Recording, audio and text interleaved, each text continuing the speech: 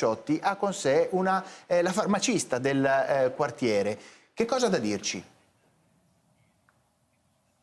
Esatto, Valeria Viazzi, sicuro, dici un, un po' qual è la situazione. Al Giambellino i medici non arrivano, perché? No, il problema è duplice, allora i medici non arrivano perché purtroppo la zona è quella che è, i medici sono dei liberi professionisti quindi possono decidere dove andare e qui essendo una zona periferica, una zona popolata di persone con tante patologie e tante problematiche, ovviamente è, è un impegno gravoso da parte di un medico e quindi nel momento in cui sono liberi di scegliere scelgono di andare da altre parti. Il problema è che in questa zona stanno andando in pensione molti medici, il dottor Veneroni era il quarto medico che è andato quest'anno in pensione e quindi si sommano 1700 pazienti eh, di ogni medico che attualmente eh, o se l'hanno trovato l'hanno trovato lontano oppure sono senza, come per esempio c'è il figlio della signora Maria che è cardiopatico, ha un sacco di problemi neurologici, quindi ha bisogno di medicine è riuscito a prendere l'appuntamento con la Regione Lombardia eh, tramite la mail, ha fatto la domanda il 2 luglio, l'appuntamento ce l'ha il 18 agosto,